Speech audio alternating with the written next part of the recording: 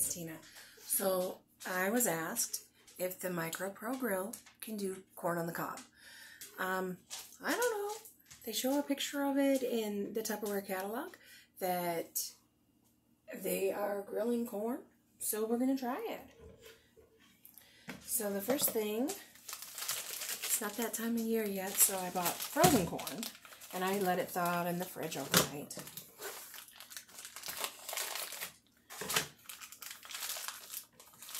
So I'm just going to take a couple of them out. It does have instructions that say that you can grill corn on the cob. It says anywhere from 7 to 10 minutes and flip halfway through. So it says it'll hold two ears. Well, these are two mini ears. So I'm going to try it with that first. I'm going to put it in the grill position,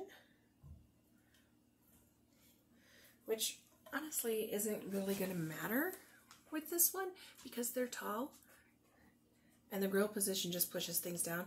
So either position for this isn't going to matter. I'm going to put it in for three and a half minutes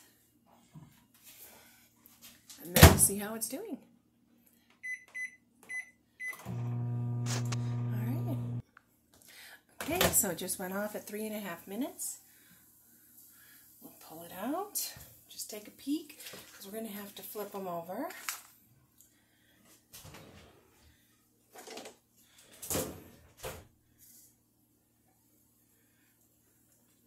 Oh, I don't see any grill marks.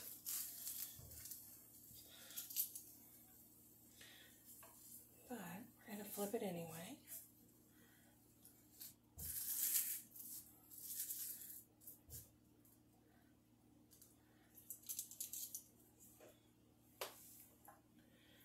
Put that grill on it. We'll do it for another three and a half minutes. So while that's going, I wanted to show you um, the little package of frozen corn that I got held six. So I just put the other four into a Fridge Smart.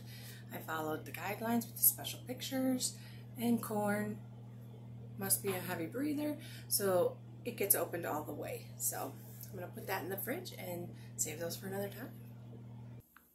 Okay, the microwave just went off. I was downstairs preparing for some meal prep later. So let's see what it looks like. Let me get a pot holder because this one is not stay cool. So it does get a little toasty. So let's see what we've got. So, if you can see that or not, but there is a slight bit of browning going on. So I'm going to give it like a quarter turn.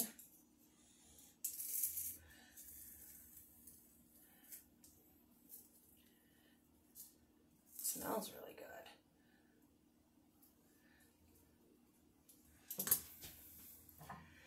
And we'll put the grill back on. And I'll put it in for a minute and we'll see what that does.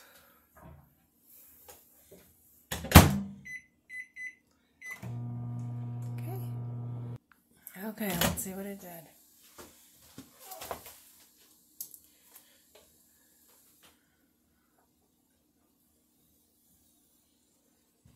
It's definitely sizzling away.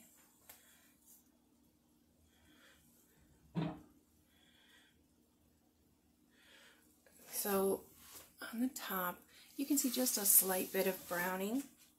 Maybe I can show you better. I don't know.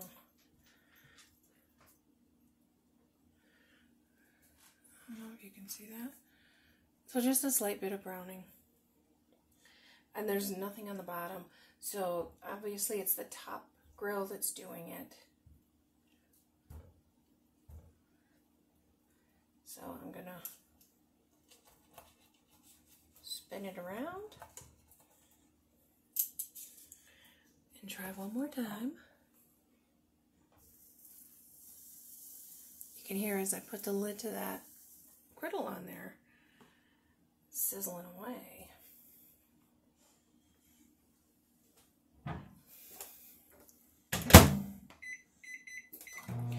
Okay. Okay, here we go again.